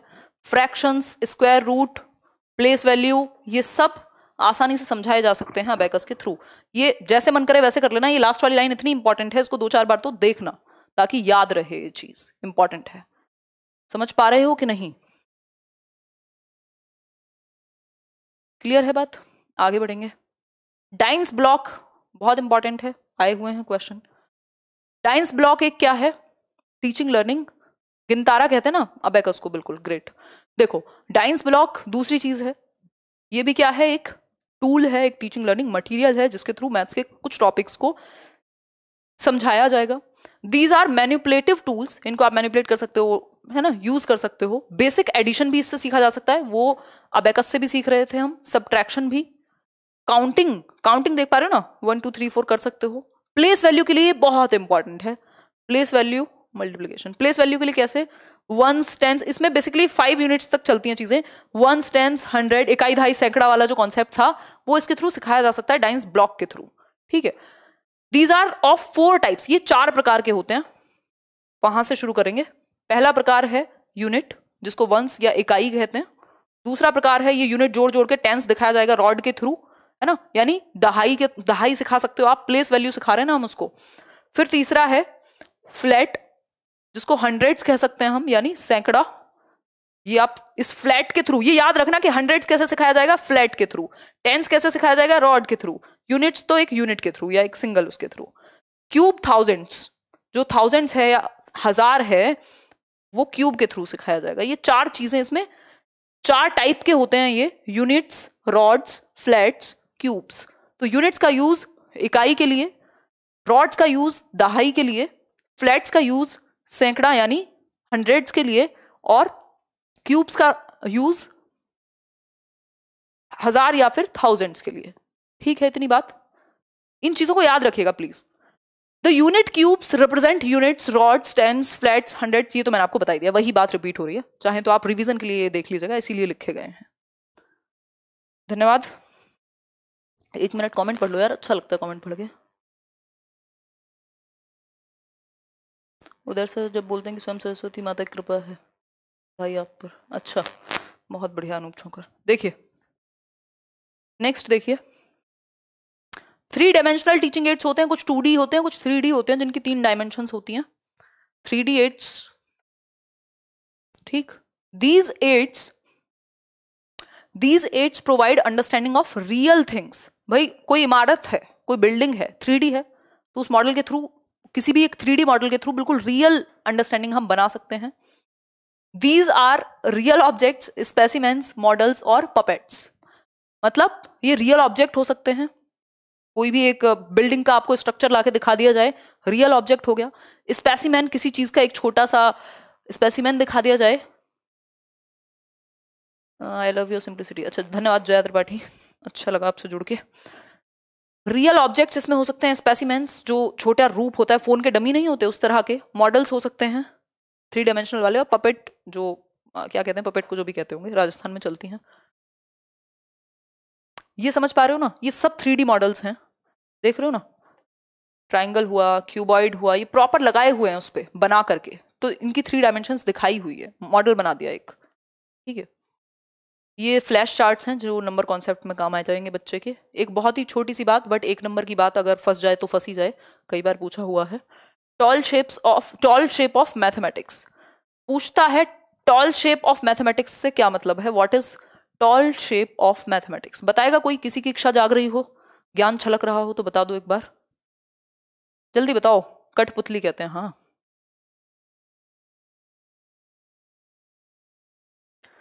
जल्दी बताओ फटाफट से। मज़ा आ रहा है आज, वैसे मैं थोड़ा स्लो चल रही हूँ एनर्जी लो की वजह से बट बहुत मज़ा आ रहा है। देखो एक बार टॉल शेप ऑफ़ मैथमेटिक्स क्या है?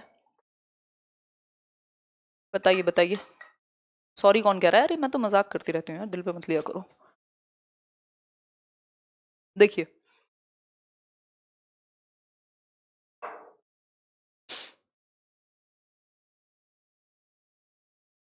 ये पाँच मैराथन हुई है, आज पांचवी मैराथन थी, मैंने प्लेलिस्ट बना दी है धीरे धीरे देखते रहना, एक आध बार और रिवाइज कर जाना सबको, सारी चीज़ें रिवाइज हो जाएँगी जो इंपॉर्टेंट है।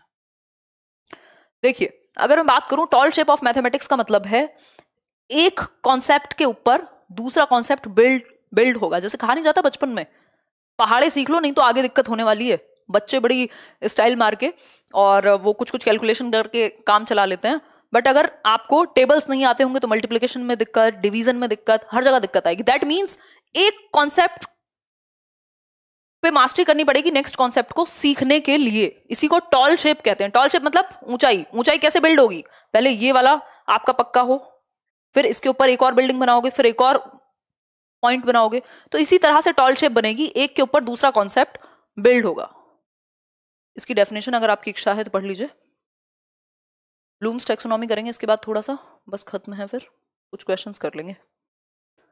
देखिए the tall shape of mathematics is where mastery of one topic is a prerequisite for the next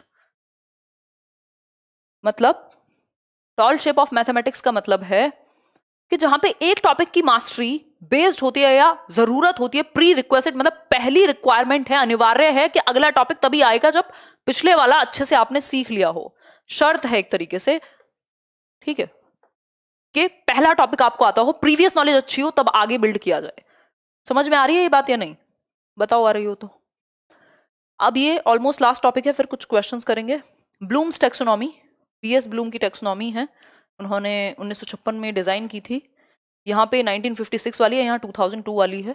ये न्यू है बेसिकली ये न्यू है। ये आपको हर टॉपिक में काम आएगी। इस बार मैंने सी में नहीं कराई थी, बस आस्पेक्ट बता दिए थे। इन्होंने तीन आस्पेक्ट दिए हैं। एक है कैप से याद कराया था आपको कॉग्नेटिव अफेक्टिव साइकोमोटर तो ये कॉग्नेटिव के अंदर हैं जो सिक्स लेवल्स हैं। अफेक्टिव होता है इमोशंस और साइकोमोटर होता है फ़िज़िकल ठीक? तो संज्ञानात्मक, दिमाग से जुड़े हुए लेवल्स हैं ये। पहला क्या है? नॉलेज यानी आप किसी चीज़ को ग्रहण कर लेते हैं, याद कर लिया डेफिनेशन वगैरह। दूसरे स्टेज पे आप उसको समझते हैं कॉम्प्रीहेंड करते हैं, तीसरे पे आप अप्लाई करते हैं। एडिशन की आपने सारी नॉलेज ले ली कॉम्प्रीहेंशन कर लिया, अब आप अप्लाई करेंगे, दुकान पे जाके देखेंगे, हिसाब किताब करके एनालाइज करते हैं उससे रिलेटेड चीज़ें सिंथेसाइज यानी सारी चीज़ों को जोड़ के कुछ नया बनाते हैं और इवेल्यूशन ओवरऑल बाद में जज करते हैं। ठीक है बात? रिमेम्बरिंग में आप डेफ इसका नया नाम रिमेम्बरिंग है नॉलेज का, ये सारी वर्ब फॉर्म है, ये नाउन फॉर्म थी पहले। ये नाउन फॉर्म थी वर्ब फॉर्म है आपकी, क्रिया। ठीक? नॉलेज को रिमेम्बरिंग रिमेम्बरिंग जिसमें सिर्फ़ याद रखना हो आपको, कोई डेफिनेशन हो, कोई नाम हो किसी का, है ना? अंडरस्टैंडिंग में आपको समझना भी होगा। फिर अप्लाइंग में आपको अप्लाई करनी आनी चाहिए वो नॉलेज जैसे कि आप सीटेट में जाके करेंगे। एनालाइज मतलब आप आके एनालाइज कर पाए कि मेरी गलती कहाँ रह गई। इवेल्युएटिंग आप जज करते हैं अच्छा ठीक है यार, अब जो हुआ, इतने आएँगे, ठीक है। आप इन सब का यूज़ करके एक नई तैयारी, कुछ एक नया बना दें जब दैट इज़ क्रिएटिंग या सिंथेसिस देखो, इसमें जो ये तीन है ना ऊपर के, ये हायर ऑर्डर थिंकिंग स्किल्स हैं, जिन पे गिफ्टेड बच्चों को इन पे ही फोकस कराना चाहिए, और नीचे जो है वो लॉट्स हैं लोअर ऑर्डर थिंकिंग स्किल्स इनमें बहुत ज़्यादा थिंकिंग नहीं लगती। ठीक है बात? इतनी बात तो क्लियर है? सबको ही पता है इतनी बात?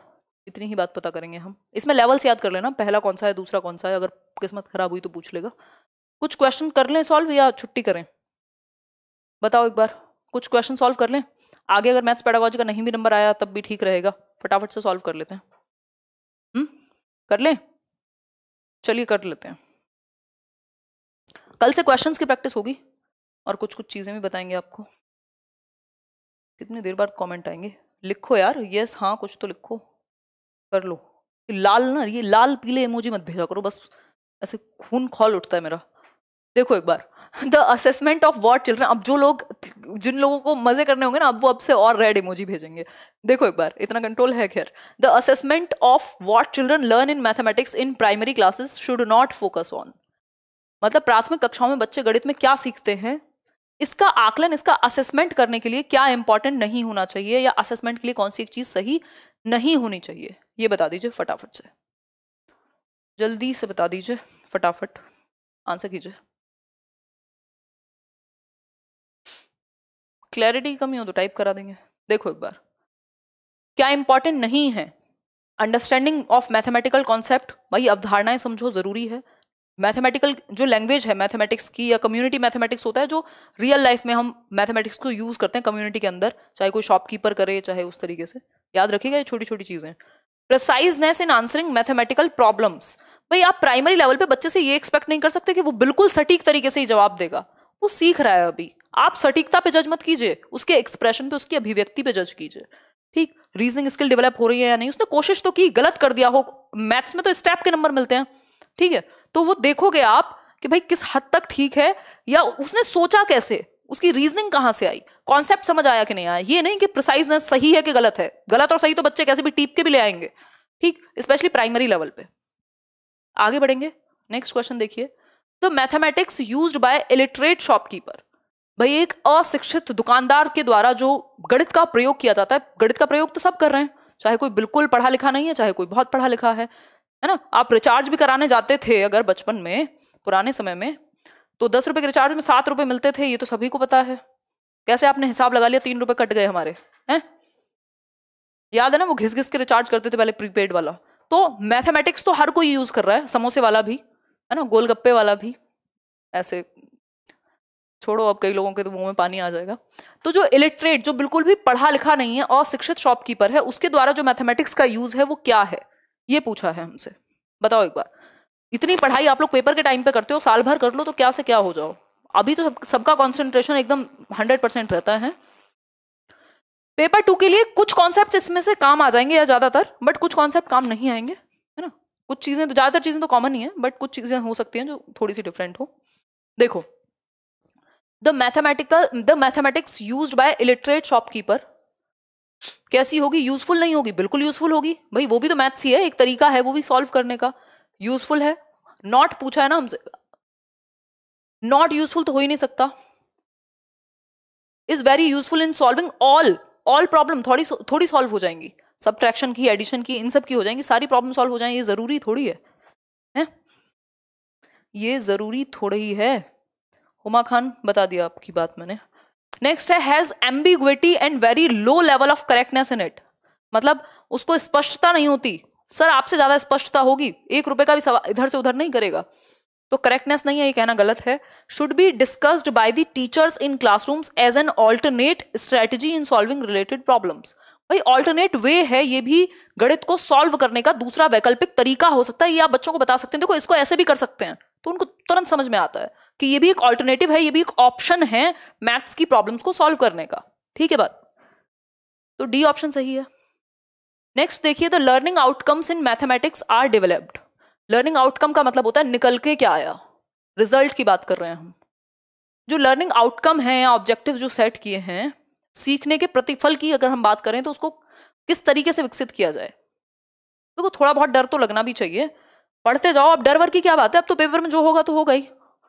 अब तो सरफरोशी की तमन्ना होनी चाहिए इस टाइम डर वर कैसा? बताओ एक बार।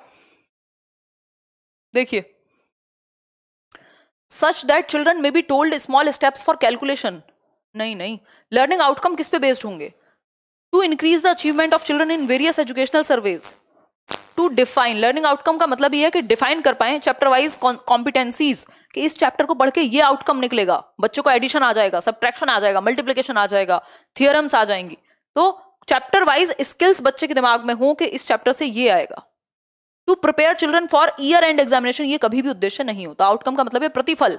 तो किस चैप्टर को पढ़ के होता नहीं हर एक चैप्टर में आप भी लेसन प्लान बनाते होगे अगर तो उसमें लिखते होगे कि ये चैप्टर से ये जनरल ऑब्जेक्टिव्स हैं, ये स्पेसिफिक ऑब्जेक्टिव्स हैं तो उसी तरीके से आउटकम होता है कि ऑब्जेक्टिव क्या है। तो हर एक चैप्टर के लिए कॉम्पिटेंसीज निर्धारित हो कि क्या सीखेगा बच्चा, यही है लर्निंग आउटकम आउटकम के उससे निकल के क्या आएगा। नेक्स्ट क्वेश्चन देखिए which one of the following happenings in the classroom is an activity किसको आप एक एक्टिविटी कहोगे? एक्टिविटी मतलब जहाँ बच्चा सक्रिय है। Activity is something where child is active तो बच्चा कहाँ एक्टिव है? बताइए, सक्रिय कहाँ है बच्चा?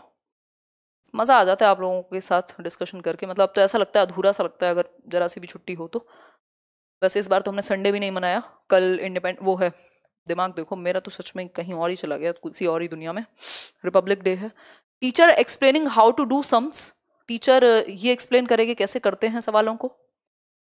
ये इसमें बच्चा कहाँ एक्टिव है? ये तो टीचर एक्टिव है।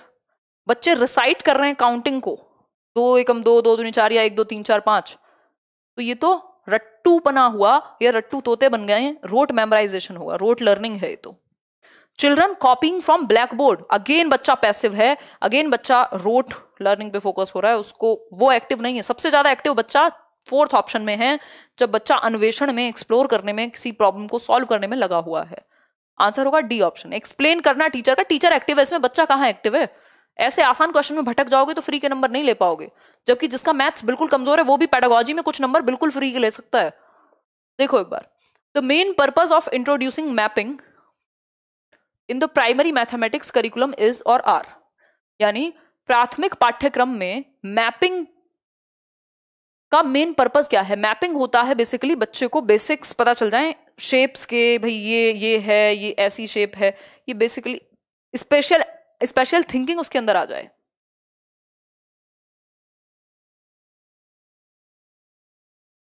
दिशा, विशा और ये सारी चीज़ें।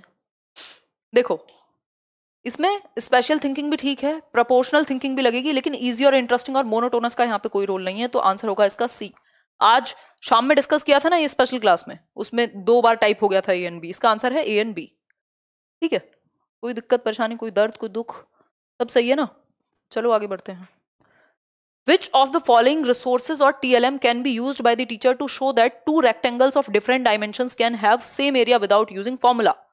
मतलब किसके थ्रू आप ये बताओगे कि जो दो रेक्टेंगल हैं दो आयत हैं उनका एरिया सेम हो सकता है बिना किसी फॉर्मूले का यूज़ किए तो एक तो तरीका इसका मैंने आपको बताया था, जियो बोर्ड पे भी डॉट डॉट डॉट करके शेप दिखाई जा सकती है।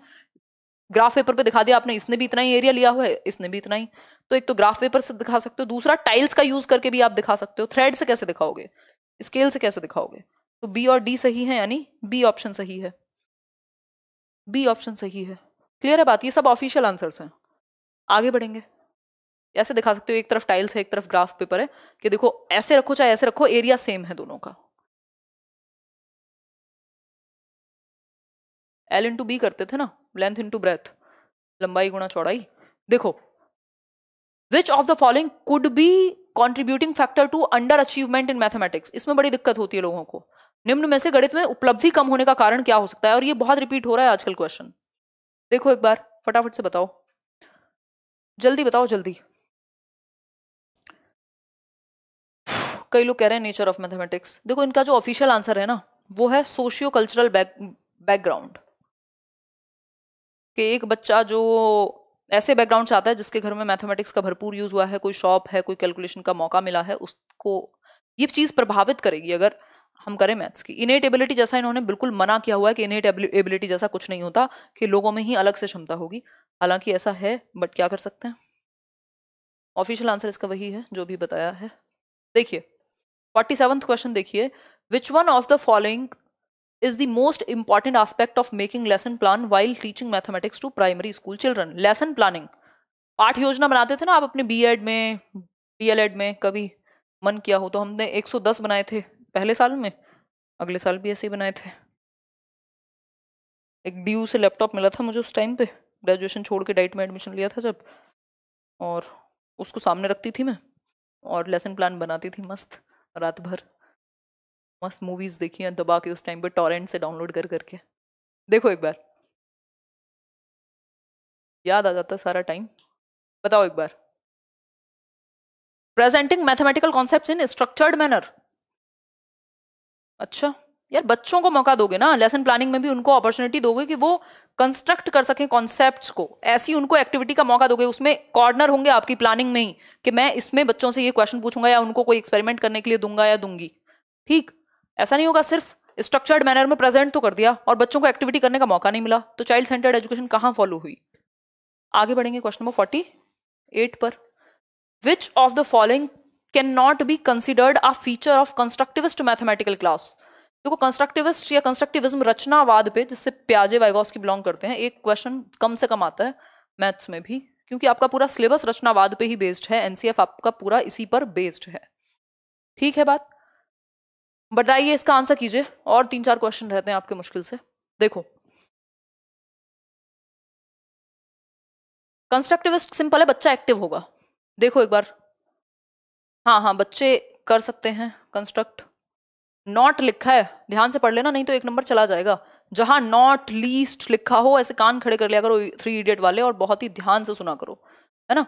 बहुत ही ध्यान से देखा करो कि आंसर में गलती की चांसेस बढ़ जाते हैं। डायलॉग भी अच्छी बात है, बच्चा एक्टिव है, यहाँ भी बच्चा एक्टिव है।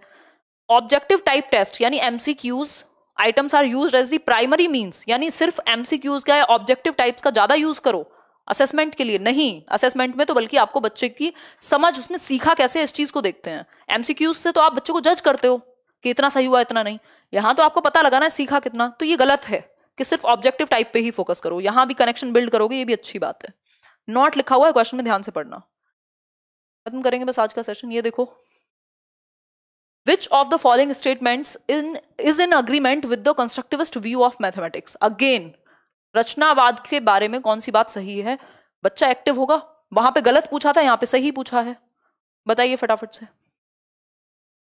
फैक्ट्स रटने के बारे में तो नहीं है मैथमेटिक्स डिस्कवर द ट्रूथ हाँ ठीक है। एंटायरली ऑब्जेक्टिव ये भी हमें पता है। विजुअलाइजेशन लेकिन यहाँ पे कंस्ट्रक्टिविज्म की बात हो रही है ना, जहाँ बच्चे क्या हैं? एक्टिव होंगे। मैथमेटिशियंस आर रिक्वायर्ड मैथमेटिशियंस की बात नहीं हो रही है, बच्चों की बात हो रही है, बच्चे एक्टिव होने चाहिए। Visualisation is an important aspect of mathematics बच्चों को आप विजुअलाइज कराएँगे, चाहे वो शेप हो साइज़ हो वॉट एवर इट इज़ चाहे वो किसी चीज़ के, किसी टॉपिक के प्रति सोचना हो कि प्रॉब्लम को सॉल्व कैसे करोगे।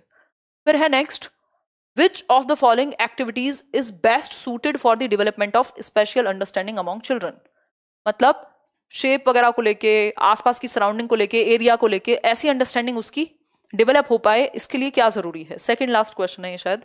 बताइए। नंबर लाइन से शेप का या एरिया का समझ कहाँ से आएगा?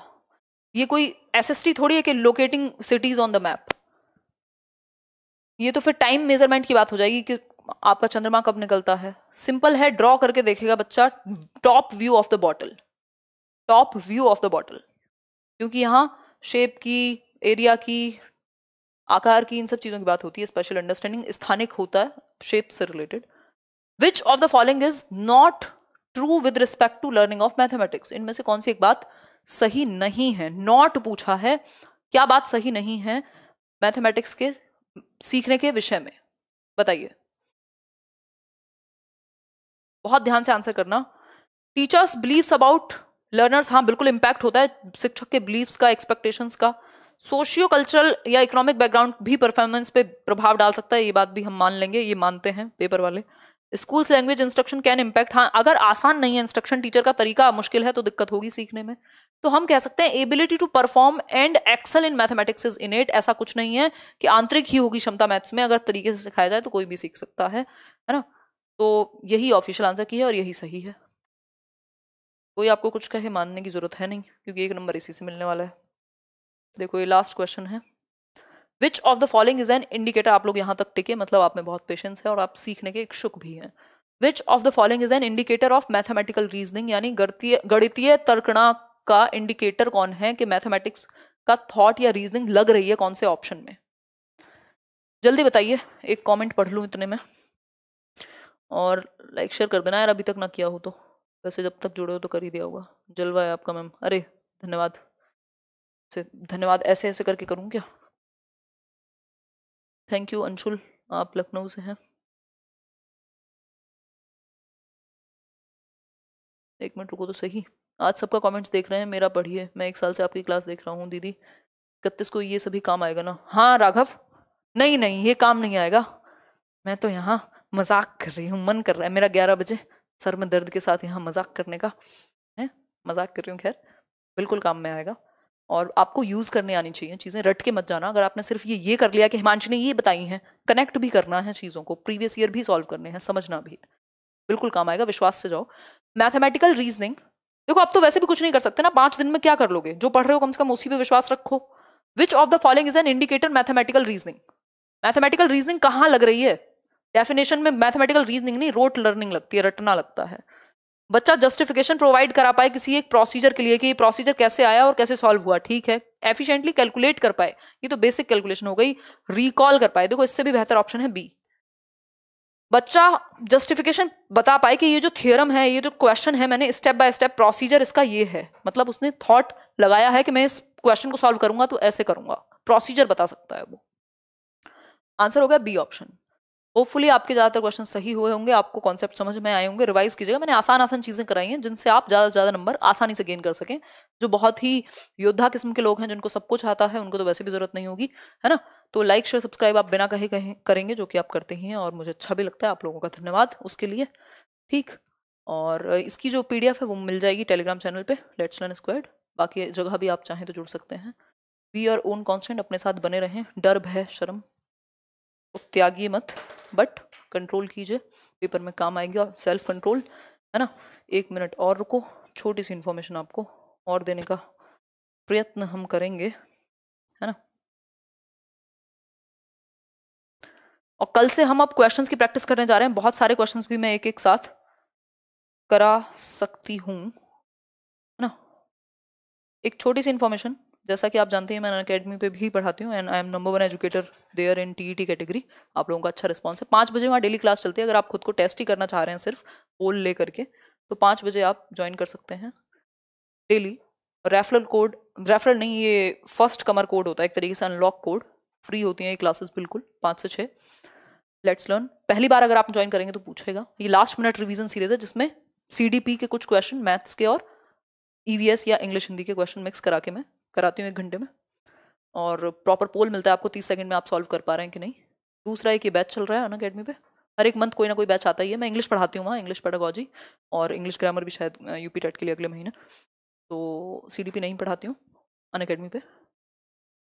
तो ये पंद्रह से अट्ठाईस तक चल रहा है ये बैच आप चाहें तो रिकॉर्डेड भी देख सकते हैं इसके videos let's learn referral code use कर सकते हैं अगर आप ज्वाइन कर रहे हैं अन अकेडमी को, जो भी बेस्ट पॉसिबल डिस्काउंट होगा अन अकेडमी प्लस पे।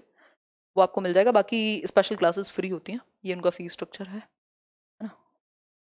तो वो तो आप देख ही सकते हैं। चलिए, आज के लिए इतना ही। नीचे डिस्क्रिप्शन में लिंक मिल जाएगा अन अकेडमी प्रोफ़ाइल और इन सब का अगर आप चाहें तो फॉलो कर सकते हैं। ठीक? चलिए bye bye thank you so much बहुत अच्छा लगा जुड़ के। मज़े आए। कल फिर मिलेंगे। कल क्वेश्चंस करेंगे। हो सकता है कल मैं थोड़ा कम काम कराऊँ। कई दिन से बैंड बजी पड़ी है। तो परसों से फिर कंटिन्यू कर लें। कल भी मिलेंगे वैसे हम। कुछ ना कुछ तो करेंगे अच्छा सा। क्वेश्चन ही प्रैक्टिस करेंगे। सी डी करेंगे कल कुछ क्वेश्चन प्रैक्टिस चलो फिर बाय बाय टेक केयर टड़ा गुड नाइट ध्यान रखो रिवीजन करना इन पाँच के पाँच मैराथन का और लिंक शेयर करना प्लेलिस्ट का, जिनको भी डर लग रहा हो पेपर से पहले, ज़रूर देख